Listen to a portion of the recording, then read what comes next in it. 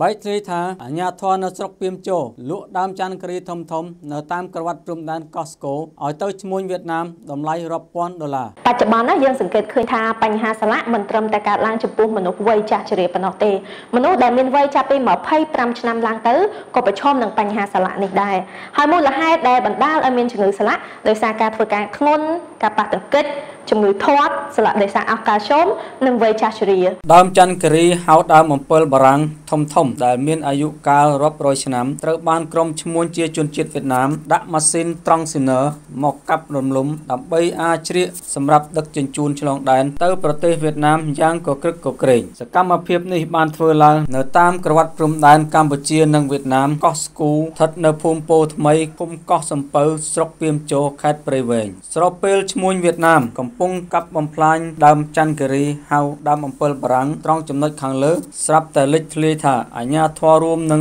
មន្ត្រីពាក់ព័ន្ធបានគប់ខិតគ្នាលក់ឲ្យឈ្មួញវៀតណាមក្នុងតម្លៃ50លានដុងលុយវៀតណាមស្មើ2000ដុល្លារអាមេរិកសេចក្តីរាយការណ៍បានឲ្យ TNM ដឹងថាកាលពីឆ្នាំកន្លងទៅដើមច័ន្ទគិរីហៅដើមអំពិលបារាំងធំធំទាំងនេះត្រូវបានអាញាធរខេត្តព្រៃវែងអភិរក្សទុកហាមមិនឲ្យមានការលក់ដូរឬកាប់បំផ្លាញទេព្រោះជាដើមធំធំនៅជាប់តាមជួរមាត់ទន្លេសម្រាប់កំណត់សម្គាល់ព្រំដែនកម្ពុជាវៀតណាមនិងមានអាយុកាលរាប់រយរាប់ពាន់ឆ្នាំមកហើយម្យ៉ាងវិញទៀតដើមច័ន្ទគិរីហៅដើមអំពិលបារាំងទាំងនេះជាប្រព័ន្ធទប់ការពារកំអយដីហូរច្រោះបាក់ចូលទៅក្នុងទន្លេទៀតផងមិនដូច្នេះអីនៅថ្ងៃទី28ខែមិថុនាឆ្នាំ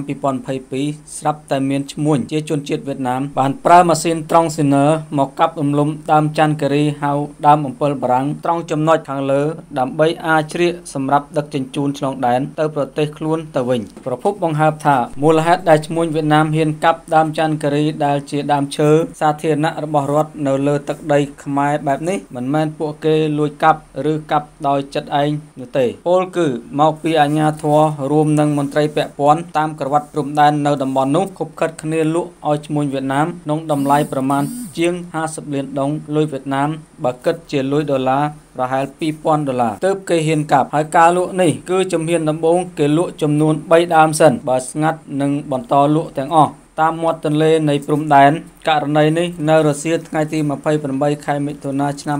2022លោកជាហេងអធិការស្រុកពីមជោបានថ្លែងប្រាប់ TNM ថាលោកមិនបានដឹងករណីនេះឡើយលុះប្រហែលកន្លះម៉ោងក្រោយមកលោកជាហេងបានបកស្រាយថាដើមឈើនោះវាទល់ទៅមាត់ទន្លេទៅគេកាប់រីឯលោកសេងធាអភិបាលស្រុកពីមជោបានថ្លែងថា ការកាប់ដើមច័ន្ទគិរីហៅដើម7បារាំងទាំងនោះអាចជាមន្ត្រីជលផលឬអ្នកលក់ព្រោះជលផលអ្នកដាំចំពោះលោកអូនស៊ីណាតប្រធានរដ្ឋបាលជលផលខេត្តព្រៃវែងបានថ្លែងថាខ្ញុំមិនបានដឹងទេហើយក៏មិនបានលក់ដើមឈើទាំងនោះដែរទោះជាយ៉ាងណាក៏ដោយករណីនេះមហាជនសង្ឃឹមលើលោកជាសមេធាអភិបាលខេត្តព្រៃវែងហើយដែលចាត់វិធានការក្តៅក្តៅពុំមានការយោគយល់ឲ្យសោះ ជ្រាបសួរនាងកញ្ញាជាទីស្រឡាញ់នាងខ្ញុំអែនណាមកពីសហគ្រាសវត្តមរុំខ្មែរធម្មជាតិបច្ចុប្បន្នណាយើងសង្កេតឃើញថាបញ្ហាសាឡាក់មិនត្រឹមតែកើតឡើងចំពោះមនុស្សវ័យចាស់ជរាប៉ុណ្ណោះទេមនុស្សដែលមានវ័យចាប់ពី25ឆ្នាំឡើងទៅក៏ប្រឈមនឹងបញ្ហាសាឡាក់នេះដែរហើយមូលហេតុដែលបណ្ដាលឲ្យមានជំងឺសាឡាក់ដោយសារការធ្វើការធ្ងន់ការប៉ះទង្គិចជំងឺធាត់សាឡាក់ដោយសារអស់កាល់ស្យូមនិងវ័យចាស់ជរា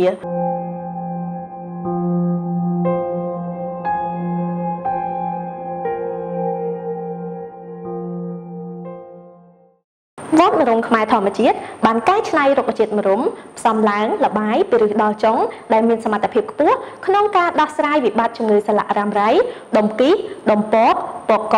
ឬដងបាត ម្រេញរបេងកូនកដុលសាច់ដុះក្នុងដៃស្បូនបានយ៉ាងឆាប់រហ័សហើយថ្ងៃនេះនាងខ្ញុំសូមលើកយកផលិតផលឈុតសរីរាង្គក្រៅយកមកជម្រាបជូនលោកអ្នកវត្តឈុតសរីរាង្គក្រៅមាន4មុខហើយមាន2ប្រភេទប្រភេទទី1គឺសូនទឹកឃ្មុំប្រភេទទី2គឺក្របសំប៉ែតវត្តឯកទេសស្លាកក្របសំប៉ែតផ្សំឡើងលបាយពីរឹសដល់ចុងនៃរុក្ខជាតិម្រុំល្អបំផុតសម្រាប់អ្នកមិនចង់ឡើងគីឡូហើយប្រភេទសូនទឹកឃ្មុំស័ក្តិសមបំផុតសម្រាប់អ្នកស្គមរីងរៃវត្តតាមរុំអាចជួយលាងសម្អាតស្ករខ្លាញ់អាស៊ីតជាពុលនៅក្នុងរាងកាយលោកអ្នកវដ្តត្រេណូលខ្មៅមានសារធាតុប្រឆាំងអុកស៊ីតកម្មគឺជាសារធាតុដែលអាចកាត់បន្ថយការខូចខាតនៃកោសិកាដែលបណ្ដាលមកពីរ៉ាឌីកាល់សេរី